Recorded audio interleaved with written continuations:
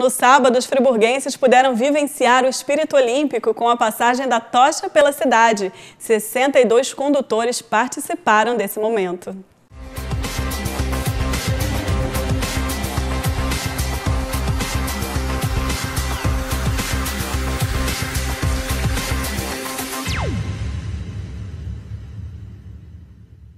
Às 3h28 da tarde do sábado, o comboio olímpico chegou à Ponte da Saudade.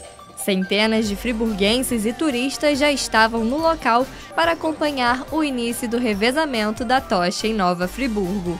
A estudante Taissane Silveira, do Colégio Estadual Eduardo Breder, foi a responsável por receber a chama olímpica e a encaminhou para o primeiro condutor da cidade, o campeão mundial de futebol para amputados, Mário Melo. Eu estou mais emocionado aqui, mais tenso do que uma final do Mundial.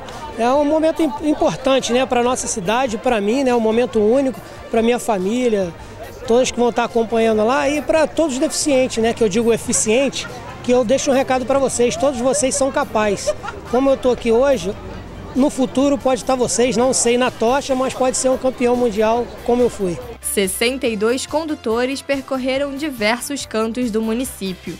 A ex-ginasta Luísa Parente, participante das Olimpíadas de 1988 e 1992, chegou ao bairro Ipu feliz em retornar à cidade. Nossa, totalmente diferente a experiência, embora é, o astral olímpico, a memória olímpica venha toda à tona de novo. Então está sendo uma, uma, experiência incrível porque a gente está aqui lado a lado com a população, uma cidade que eu amo de paixão porque eu venho aqui desde a infância. Puxa vida, estou muito feliz de poder estar aqui nesse privilégio de hoje. Já o responsável por trazer o símbolo à prefeitura foi o ex-jogador Miguel Ruiz. Com 92 anos, ele foi uma das pessoas mais velhas a conduzir a tocha no Brasil. O comandante do 6 Grupamento dos Bombeiros também foi um dos condutores. Ter esse privilégio de conduzir a tocha aqui na própria cidade, para mim, fui um desportista antes de, de ingressar na carreira militar, fui um desportista, né? É, não cheguei a lograr a Olimpíada, né? Mas então agora a gente está tendo, tendo um pouquinho desse gostinho aí. A cidade estava em festa e a cada trecho uma atração para animar ainda mais a passagem. A Praça do Suspiro ficou lotada à espera da tocha. E quem prestigiava o evento estava animado. Tô. É de Friburgo mesmo? Sou. E o que você está achando do evento na cidade? Ótimo, maravilhoso. Um momento único e é uma coisa que para a gente ver de novo só lá fora, nos outros países, né? Então é um momento único, é oportunidade única de ver a nossa cidade receber essa linda festa, né? De, pela tocha passando aqui na cidade, né? Você é aqui de Friburgo mesmo? Bom Jardim. Veio pra cidade só pra assistir? Sim. Tá gostando da festa? Muito, tá ótimo. Tudo de bom. Um dos momentos mais aguardados do dia era a descida do empresário Gilberto Sader pelo teleférico.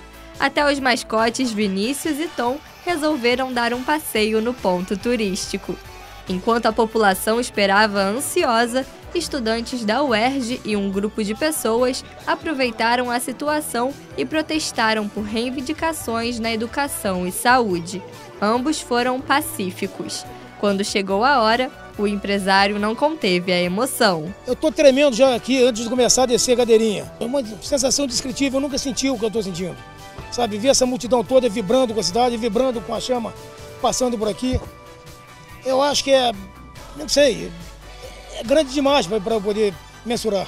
Para Nova Friburgo representa a chama da retomada, representa a, é, a Fênix friburguense.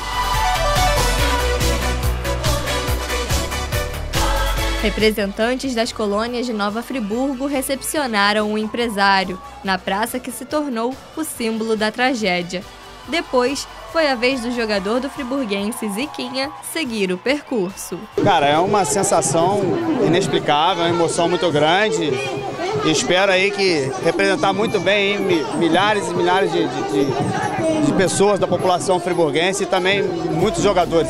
Outros atletas também marcaram presença no revezamento como a ginasta russa Anastasia Nazarenko, campeã olímpica e presença garantida nos Jogos do Rio. A tocha já havia seguido mais da metade do caminho e por volta das 5 e meia da tarde chegou ao Nova Friburgo Country Club.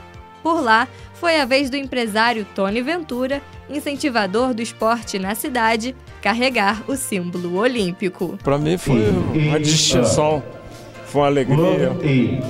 Eu acho que a gente planta e nem sempre tem oportunidade de colher. E com muito orgulho, então, tive esse reconhecimento e agora vamos ter essa grande alegria. O vice-campeão brasileiro de judô dos Jogos Pan-Americanos de 1995 e hoje comandante do 11º Batalhão, foi recepcionado em Olaria por admiradores e alunos do projeto Solução. Eu estou muito contente de ter tanta gente aqui prestigiando, é um sinal de que o trabalho que a gente faz aqui tem trazido bons resultados. Os alunos do judô estão super animados. Ah, que legal, que bacana poder, eles poderem estar aqui para prestigiar, que legal.